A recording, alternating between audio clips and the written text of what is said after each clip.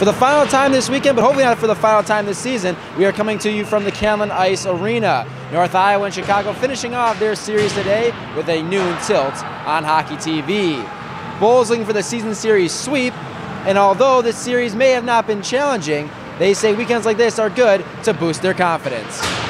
For me, yes, you know, being a first year player, you know, not getting every game, just you got to get every chance you can get just to put the puck in the net or get some points and just you know build your confidence. That's the big key in hockey, I guess. Yeah, definitely. It was about time I got it going. It, it's been kind of getting on my nerves that I haven't been doing much, and this weekend I finally got it going. So yeah, definitely a big confidence booster. I mean, I'd say it's good to uh, get them some good ice time and uh, kind of adjust a little bit and just be able to play and succeed.